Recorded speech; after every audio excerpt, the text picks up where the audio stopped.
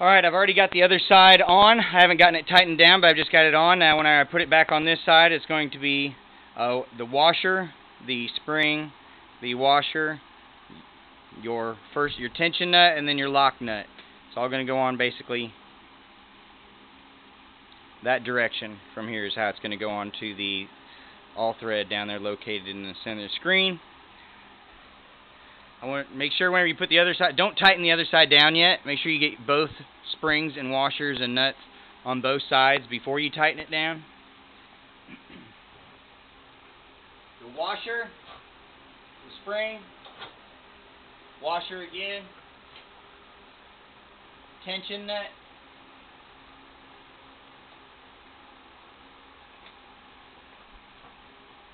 save your lock nut till you get all your adjustments done. Now the book says I've got a caliper here. It's already set to one inch on this spot, right? One inch of space. Your one inch needs to be from, skip the step to show you. I want to make sure this teaches you right.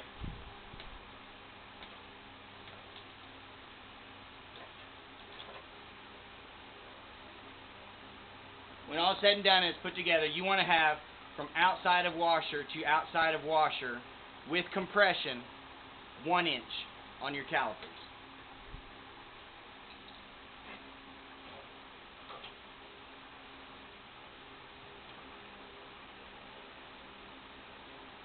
Alright, so I've already got it on the other side. Fully installed. I'm going to go ahead and tighten it down. Grab my ratchet.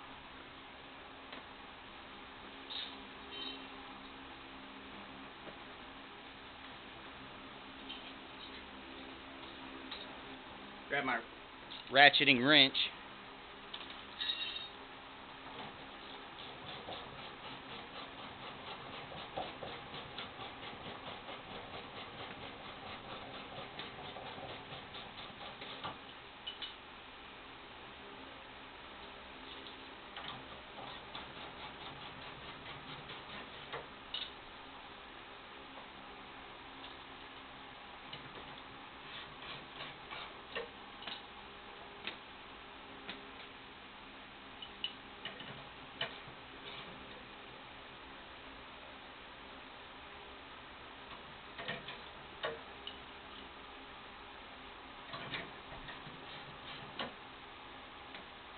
your outside out, outside washer, outside washer is one inch.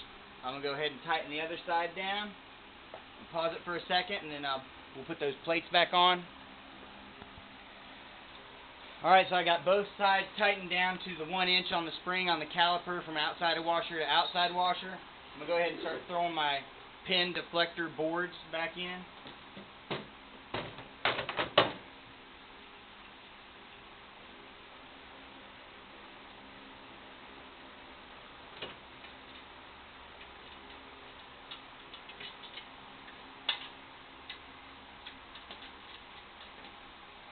Alright, Brunswick, uh, I have a gauge block here that Brunswick sells. Uh, you've got your, your, your 5, your 10, your 15, and your 20 millimeter height.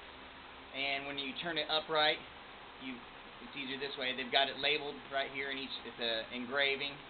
But uh, you've got 50 millimeters, you got a, a 35, a 25, and another 25. So whenever you add all these numbers together, it's 135 tall, so you can use this is actually set up and gauged so whenever you're doing your table height to make sure it's not too high or too low on the table for the setting height. That's what this gauge block works for. But uh, in this instance, I'm going to show you Brunswick uh, states in the book that they say use the 5 millimeter height. They want your pin deflector boards to be 5 millimeters up off your transport band. Well, I don't like that. It's For us, it's a little too low in my opinion. Uh, I don't like my transport, or I don't like my pin deflector boards to be rubbing my transport band. And as soon as pins are knocked to the back of the pit, the weight of the pins pushes on the deflector board, which goes down into the transport band and rubs a little, starts curling your deflector board. So I go a little higher. I usually choose the height of, which appears to be about 7 millimeters, the thickness of most wrenches. And uh, I'm not sure if you'll be able to see that, but it is just a slight bit higher or thicker than the 5 millimeter. I got a 13 millimeter socket on my drill already. I'm just going to stick the head of this wrench underneath the pin deflector board and to space it off of the roller, because the roller's firm. The transport band sags down, so space it off of that roller. And then the rest of it should, as long as your uh, deflector boards are level in your bracket, it should it should just uh, plane itself out.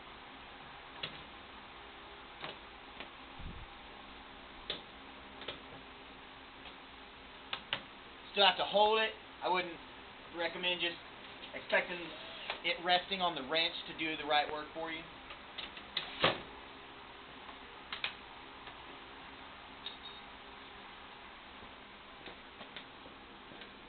Other side.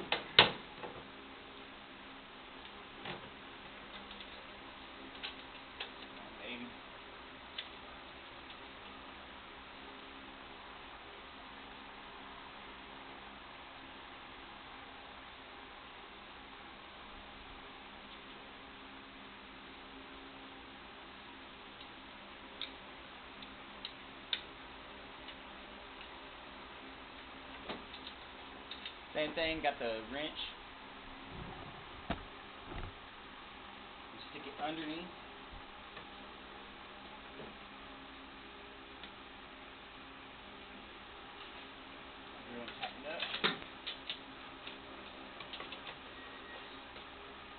Go ahead and take the wrench itself and double check how much tension my drill put on there.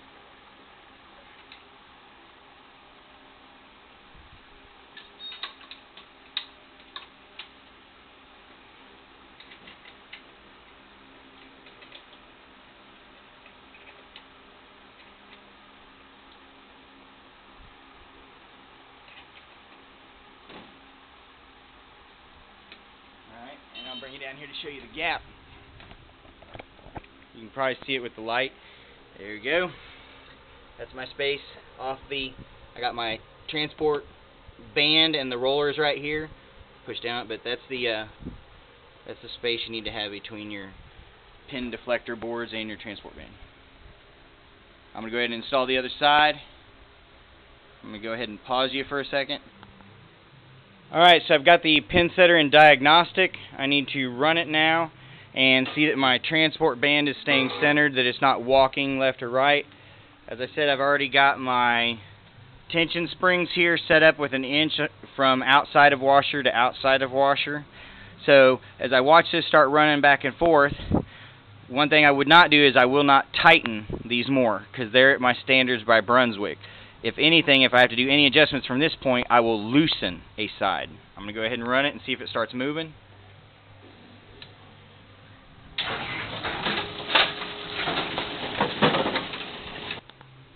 Alright, I don't want to keep you in the dark here. I'm uh, going to let you know that the second I started it up, I noticed my T-band was not moving, and that meant that my transport band drive belt was not installed. I just went to the, I paused it real quick, went to the other side, and slapped it on.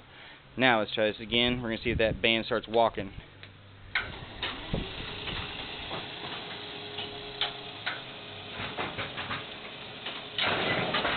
I'm looking at I'm looking at the reveal right here in the light on the metal roller. Okay, I see it's coming to the left already. So that tells me I don't know if you guys saw that. It came over about a quarter inch and about four rolls. So that tells me that my that this side here would need to be left alone. I'd want to loosen the opposite side on the other end to try and get my timing out. So I make sure that I don't tighten any more than the outside of the washer inch. So I'm going to go ahead and loosen that side just slowly and cautiously and keep watching it and see if it gets centered up properly. And uh, from that point, you guys should be able to take it, take off from there. Good luck with all your repairs.